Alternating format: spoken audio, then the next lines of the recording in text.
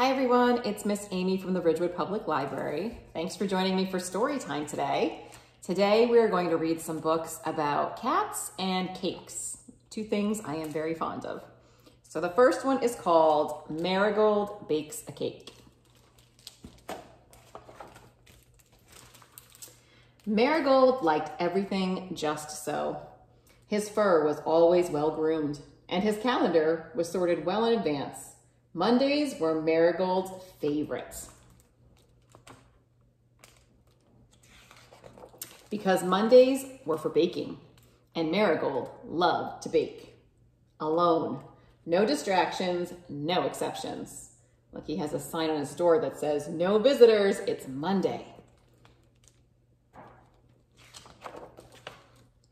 This particular Monday, Marigold wanted to bake a cake that was absolutely fur-sheddingly fabulous. He had plenty of ideas, but it had to be perfect. With his snazziest recipes sorted, snipped, and clipped for their most exquisite bits, Marigold was ready to begin. Look, he wrote himself a note here. It says, remember, make the best cake ever. First, he separated three egg whites and whipped them up in a large mixing bowl. Easy. Next, he added a cup of milk. Peasy. Followed by the juice of a lemon. Squeezy. Then, Marigold sprinkled in just a pinch of Finch? Hmm, that's not right, said Marigold. See the little bird on his table? It's a finch. Shoo, Mr. Finch, Marigold said. I've no time to chase you today. It's Monday after all, and Mondays are for baking. Marigold politely showed Mr. Finch to the door. He then returned to his recipe, only slightly flustered. He shaved chocolate ribbons with the utmost care and drizzled the batter with three swirling spoonfuls of rich molasses before tossing in just a smidgen of pigeons? Uh-oh, more birds. That definitely isn't right, said Marigold. How do you think he's feeling here? A little annoyed with these birds? Marigold's tail went all poofy. A brief chase was in order. Skedaddle! There's no room in my Monday for pesky pigeons.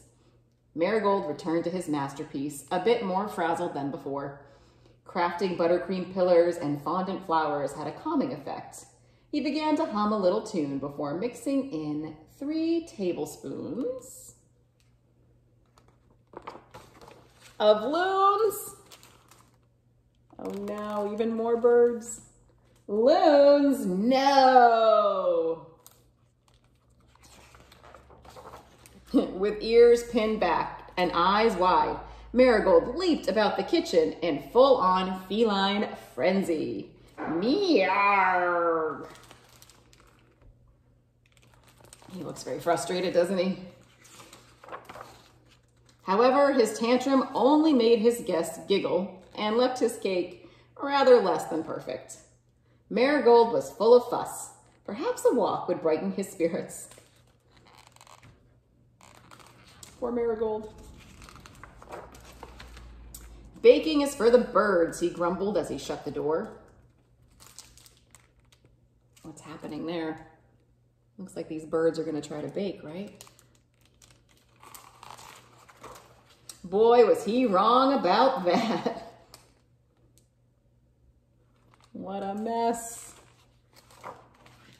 Baking wasn't at all for the birds, but at least they tried. And Marigold recognized a love of cake making when he saw it. So he thought that if baking wasn't for the birds, then maybe he could teach them. It's a nice idea. He was wrong about that too.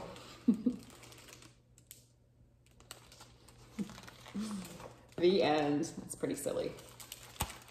I hope he got to make his cake eventually. All right, our next book is a Pete the Cat book. It's called The Missing Cupcakes.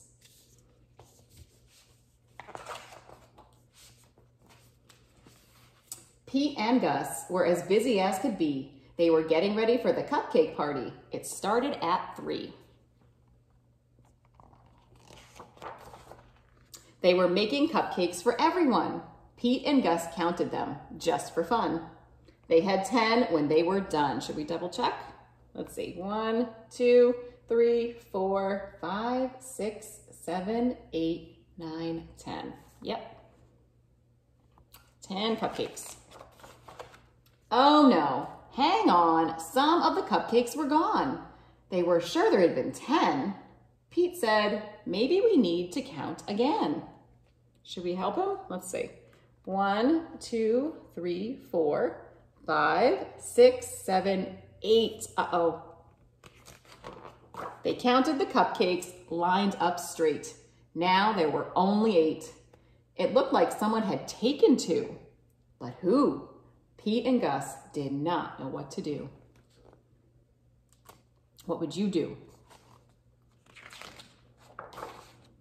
Just then, they found a clue. Gus said, look what I have found. Sprinkles on the ground. I bet it was Squirrel. She loves sprinkles. Squirrel said, it wasn't me. It couldn't be. I've been at the spelling bee. Uh-oh, more cupcakes are missing. Come and see. How many are there now? Let's count. One, two, three, four, five, six. Uh-oh, we're down to six. This was too weird. Two more cupcakes had disappeared. Now there were only six.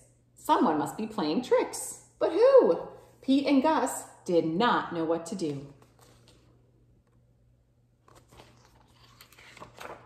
Just then, they found another clue. What is it? Do you see some footprints? Hmm. Pete said, I bet it was alligator. He loves to eat. Alligator said, it wasn't me. It couldn't be. I've been learning my ABCs. Uh-oh, more cupcakes are missing. Come and see. Oh no, how many are left now? One, two, three, four. Now there were only four. Someone had taken two more. But who? Pete and Gus did not know what to do. Just then they found another clue. I bet it was Turtle, said Pete. I know Turtle loves sweets. Oh, here's the clue, right? A ladder on the outside of the window there to get to the cupcakes. Turtle said, it wasn't me. It couldn't be. I've been swimming in the sea. Look, do you see what I see? Someone's taking more cupcakes. Uh-oh, more cupcakes are missing. Come and see. What on earth was going on? All the cupcakes were now gone. No. Pete and Gus did not know what to do they started looking for another clue. What do you see? There's a trail of footprints and sprinkles and cupcake wrappers going that way. They found Grumpy Toad with icing on his face. Pete and Gus had solved the case. Mm -hmm. It was Grumpy Toad. I am so sorry. It was me. I could not stop with just one. I ate and ate till there were none. Oh no. Has that ever happened to you? You were eating something so delicious you couldn't stop eating it?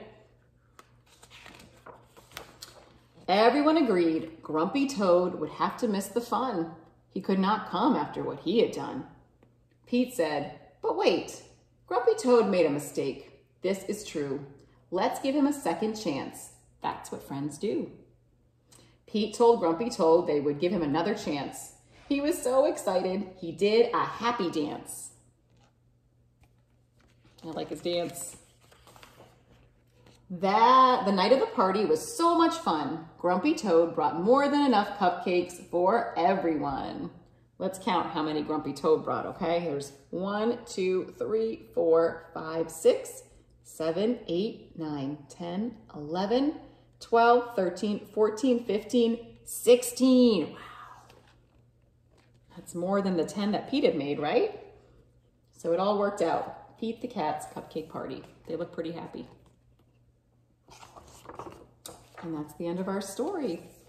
I hope you enjoyed story time today, and I hope to see you next time. Bye.